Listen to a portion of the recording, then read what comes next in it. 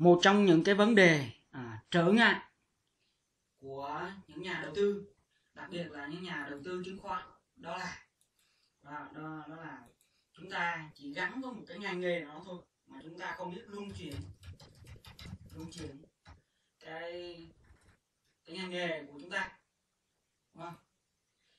nhiều nhà đầu tư à, rất cứng nhắc bởi vì họ họ chỉ quan tâm là ví dụ như họ quan tâm đến dược thì họ chỉ đầu tư chứng khoán cho cho hiểu thôi. Họ cố gắng tìm kiếm cố gắng lục lọi trên thị trường xem thử là à, cái công ty dược nào hiện giờ nó đang đứng đầu cái cổ phiếu nào nó đang ngon à, cổ phiếu nào nó phù hợp với cái chiến lược đầu tư của họ thì họ sẽ sẽ đầu tư vào nó.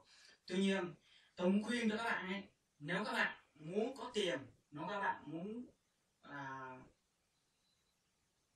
muốn nhận được à, nhiều giá trị thì các bạn phải phải biết cách đầu tư đa dạng hóa các lĩnh vực.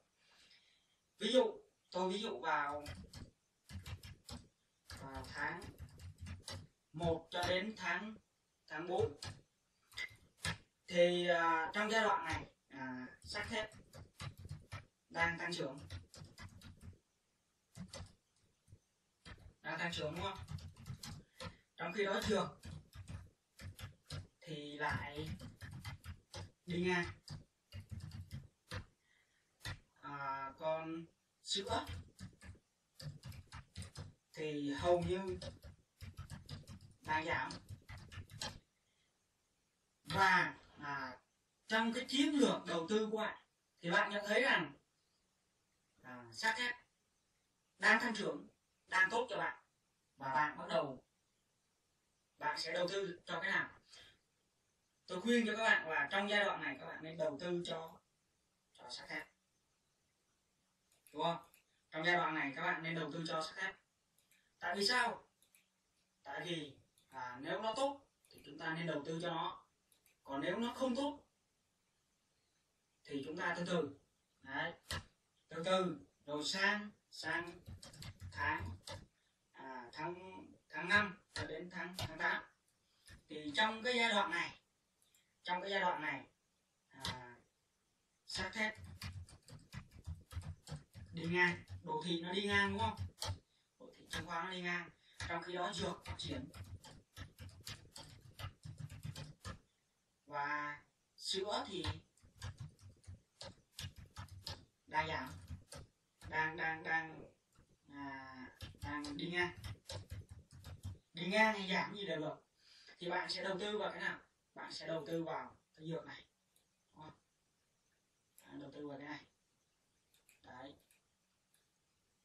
Đó là chiến lược chúng ta thông minh. Chúng ta phải biết luân chuyển. Chúng ta nhìn bao quát.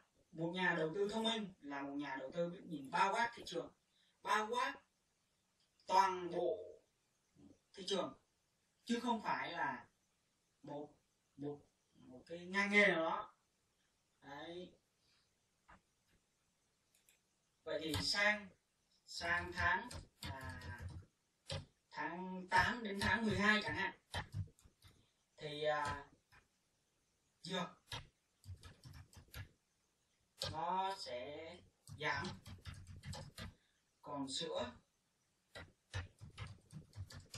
thì thì à, sữa thì tăng đúng không? Còn sắt thép thì tăng trọng. Vậy thì trong trường hợp này, bạn sẽ đầu tư cho cho sữa. Đấy, các bạn phải biết luân chuyển cái ngành nghề của mình sao cho nó phù hợp với cái chiến lược của bạn. Tôi nhắc lại, đây là một cái ví dụ. Tôi chỉ ví dụ theo cái phương pháp đầu tư của của tôi, đúng không? Và cái phương pháp đầu tư của bạn phù hợp trong trường hợp hợp nào thì bạn chọn trong trường hợp đấy không cứng nhất là chỉ chọn một cái. Chỉ chọn một ngành nghề. Bạn mà đầu tư thêm một ngành nghề ấy, thì bạn rất dễ bị, bị thua lỗ rất dễ bị, bị chậm cái tiến trình mà chúng ta kiếm tiền.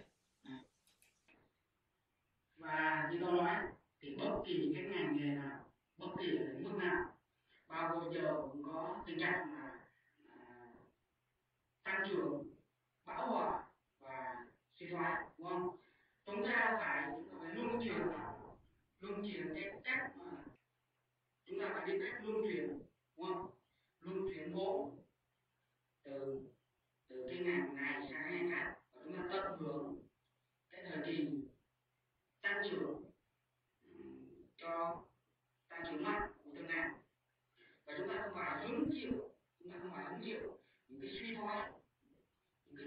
đi ngang mà cái đội hình nó đi ngang của của cái hàng họ, đấy.